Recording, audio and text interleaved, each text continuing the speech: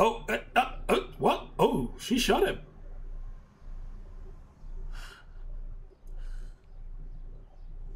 Huh?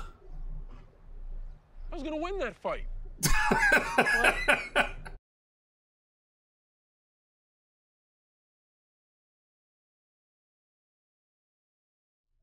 Okie dokie, culture lovers, we are back again. It's the Virgology channel, it's Dave here. And uh, we are carrying on with episode 4 of Peacemaker. Uh, last time was fantastic. We found out what butterflies are. Um, we, you know, surprised me really. I didn't think that was going to be what they were going to be. It seemed to be alien moths taking over human hosts. That was weird. We found out uh, that uh, uh, Peacemaker did have trouble killing for a little bit. He had a little bit of a had a bit of a wobble, and uh, luckily Assassin was there to sort of take over for him. Um, we've been introduced to new characters. We've got uh, Judo Master, who seems to be three foot tall, but can certainly kick some bottom. That's what we can see there. Um, so uh, the senator, um, who's now been shot in the face by Peacemaker, it is um, basically making a comeback and now realizing what his job is. So um, yeah, so I think we've got some alien host things going on here. It's very intriguing. You know what? I don't want to stop the blather, stop the jibber jabber. Let's just watch it, shall we? Let's just get into it, okay? Let's do that now. Boom. So after the butterfly flew out of Goff's head, what happened to it? I shot it. Just a little part. Would have been nice to have captured it, but I guess it's good it didn't get away. Yes. I'm not sure I'm ever gonna walk again. Why? Motherfucker cut half my pinky toe off. It's the most important toe there is. Yeah, that's not true. Yeah, it is. You can't walk without it. You can walk just fine without a pinky toe. You'll fall over all the time and look stupid, and everyone will laugh at you. Who's gonna laugh at you for falling over because you don't have a toe? I was just imagining it. I'm so- sorry. Oh, there he is. What are we gonna do about him? Hey, no! no! Peacemaker in my office. Judo Master. Okay. You sure your head is in this? What? You choked last night. Are you kidding me? Maybe that wouldn't have happened if you put a goddamn dove apiece on the sniper rifle. One of the most important things about killing someone to me is a fucking dove apiece on the weapon. That's bullshit, and you know it. You also told me to kill kids. You didn't say why. Yeah, okay, one was homely. That didn't make it better, it made it worse. I Started to feel sorry for it. Yeah, man, pushed you too hard on that one. I made a vow to have peace at any cost. No matter how many men, women, and children I need to kill to get it. But I'm not fucking killing kids just because you say so. Ooh. You're sure that's all it is? Yeah. Good. Oh. Because right now the world needs a son of a bitch, and you're the only one I got. Listen, again, I'm sorry about last night. I've never killed anyone before. You said. Mm. I've never shot anyone. I've never shot at anyone. Hell, I'm a pescatarian. So you're okay with making that poor bastard's last minute of life the worst suffering imaginable because you're too much of a coward to put him out of his misery, but you won't eat a fucking fish. Got it. I do eat fish. Pescatarians, we don't eat pork. I don't give a shit, Adebayo. The truth is, you want to do this job, you can't balk, ever. You have to make the hard choice when necessary. I gotta go to the bathroom. True.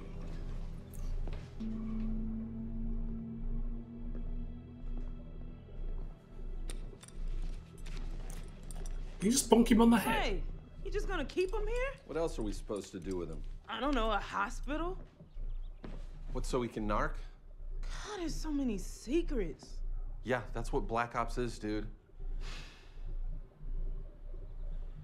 And, um, don't worry about Harcourt. She doesn't really like anybody.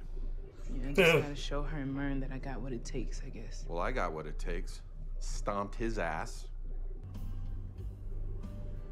Listen, uh, I've been meaning to thank you for allowing me to be tortured last night. Oh, God, yes. You're welcome.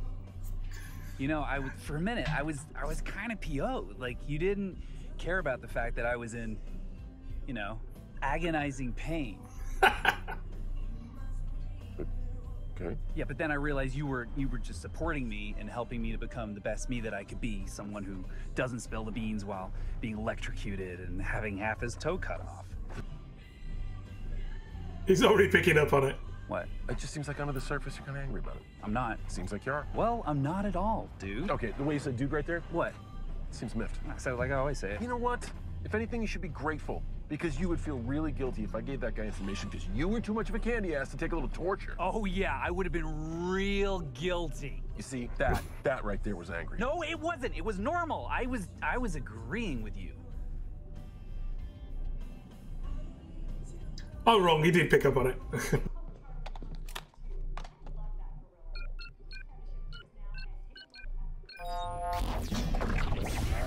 this is like a cool room, though, isn't it? Look at it.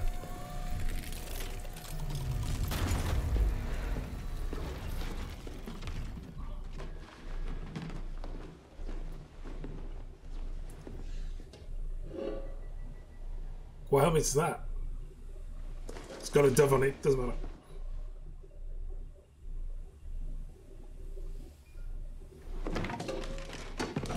Yeah, I actually thought that would make more sense that you just take all of them.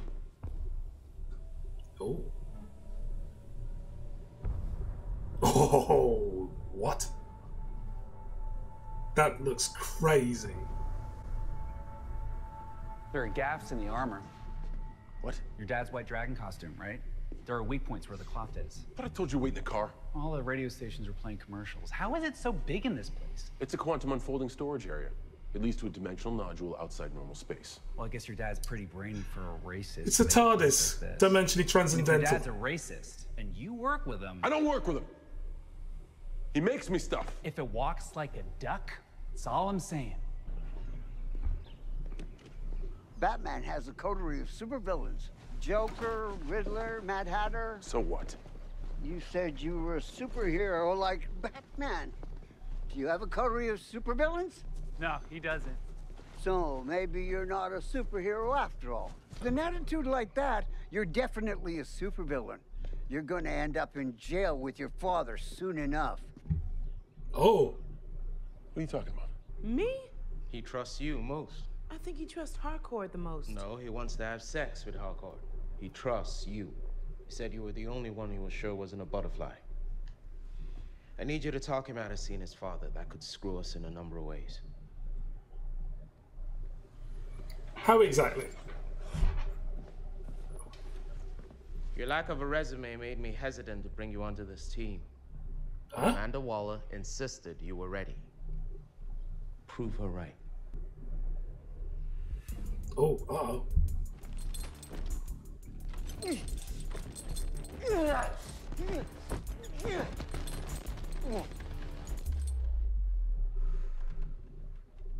He's gonna wriggle out of it.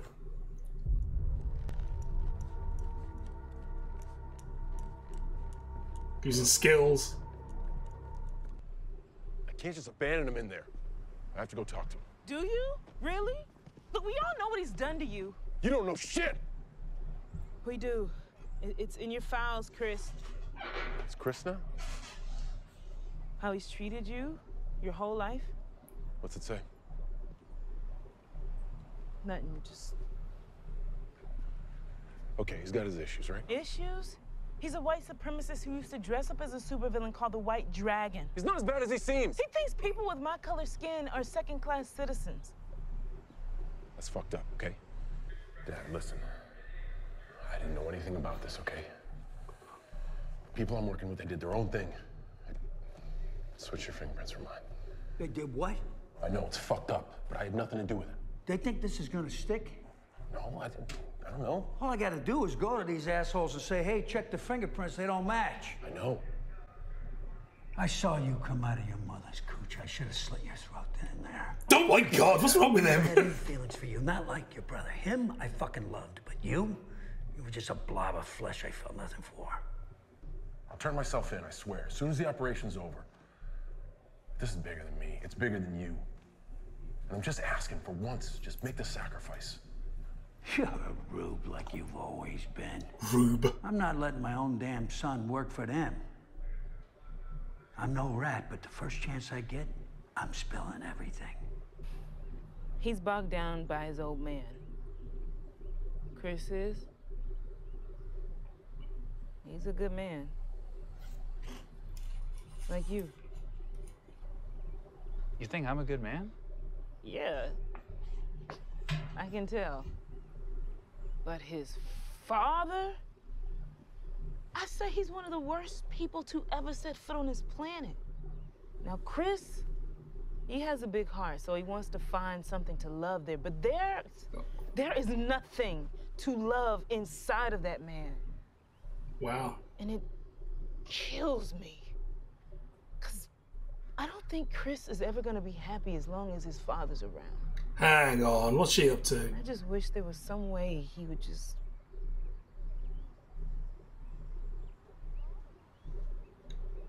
go away. Oh, see, I thought that's what she was doing. Uh, what? What the fuck are you doing? I don't have to tell you that, motherfucker. Keep face down on the ground now. Fine, I don't care. I'll get on the ground all day long. Oh, uh, it's trying to get into prison, Just isn't it? watch my pinky toe on my right foot. Uh, you, pinky toes aren't that important. You don't need it to walk or anything, but I've sustained an injury, and it hurts, so. Ow. Yes. You've lost your little judo master. Tell him to go fuck himself. Hey, John. Oh my god, we are so incredibly fucked. Like, next level fucked, okay? I checked the restraints, they were tight. I don't know how the fuck he got loose. He's probably in the cupboard. I knew he'd be in the cupboard. What do you think? Judo man. How's he was finding chips? Fuck. Yeah. Fuck! I think Cobra Kai just got out.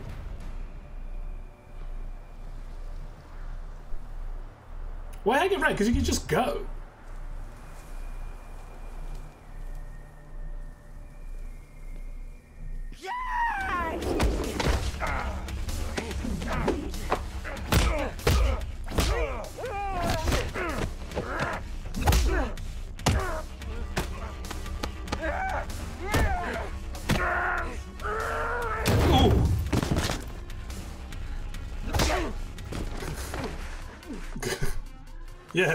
Giving away quite a lot of body weight there.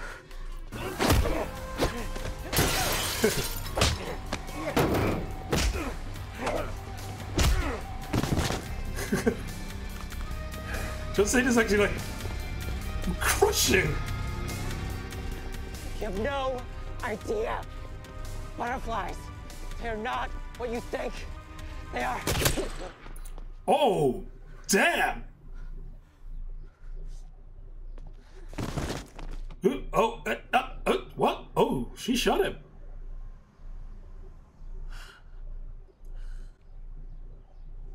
Huh? I was gonna win that fight.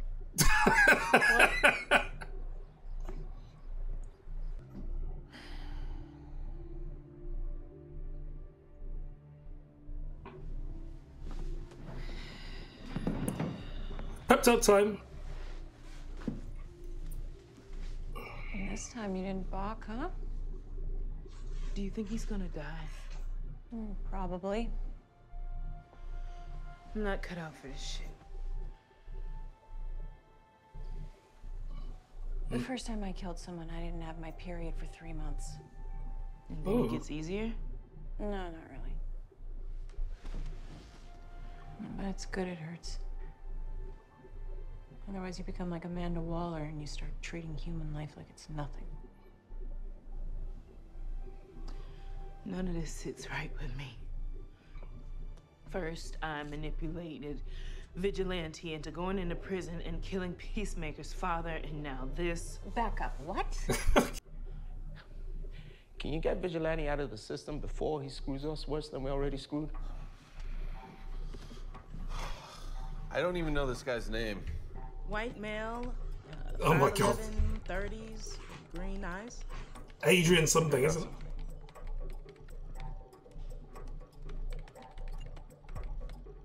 Adrian Chase. Adrian Chase, the vigilante. That's him. Hey, what's up, fellas? but you toads seem like the coolest guys in this place, so I was thinking, you know, like we should get to know each other. What? Let's pick a topic, Yeah. and then everyone goes around in a circle and says their feelings on that topic. Let's start with, uh, I don't know. Let's each say something that we're grateful for that black people have contributed to American culture. Is this dude joking right now? No. hey, look, I'll go first. I'm grateful that black people gave us rock and roll music. Lynyrd Skynyrd, ZZ Top, 38 Special, all those guys owe everything to black American folk and blues musicians. I mean, they wouldn't exist without it. and then white redneck music would just sound like, well, what it sounded like before black people, which was the wet, sloppy sounds of fucking your sister.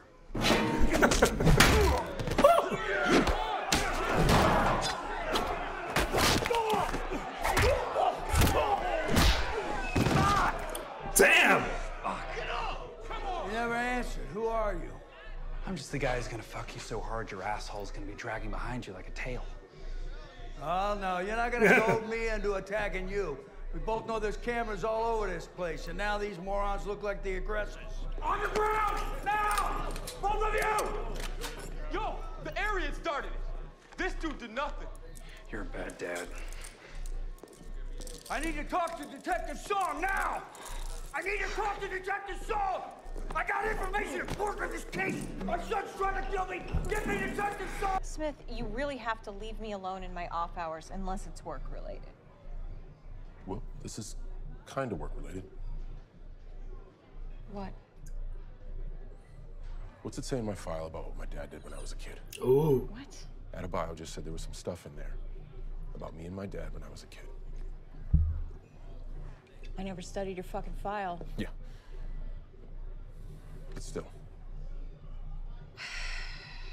Ooh. Fine. It says that he trained you to kill from when you were very young, and it says that your brother died under mysterious circumstances, and that you were involved in that. Oh, wow. thanks. That's it. No, your tits look stellar in that shirt. I'm saying that as a compliment. That's not in a sexist way.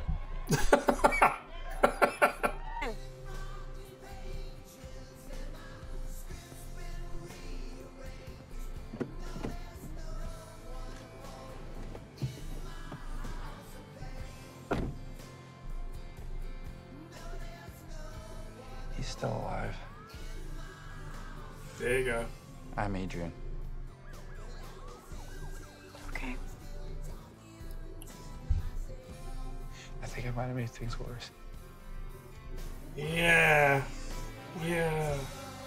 I think you probably did. Oh, flashback.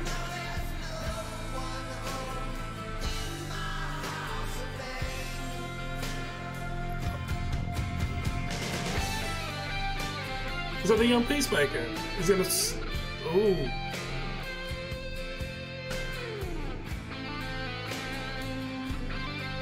Oh, damn!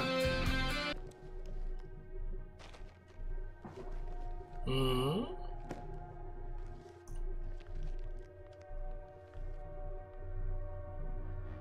Oh, okay. Doing a little detective work, eh?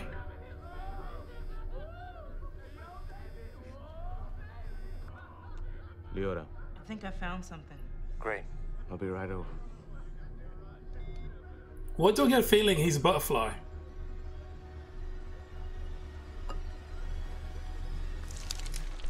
Knew it! Totally called it! Totally called it!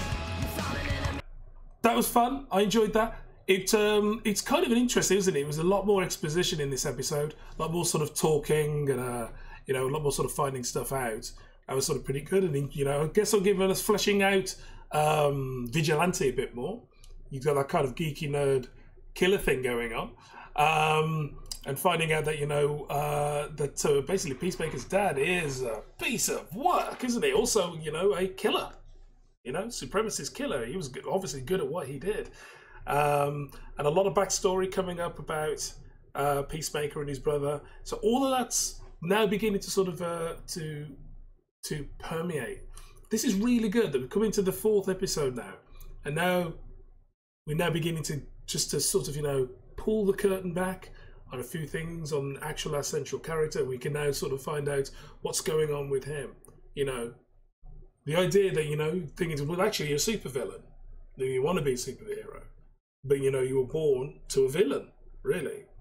And now we know that we have these sort of um, parasitical uh, aliens. I knew it. I said in episode three that Mers is, a, is an alien.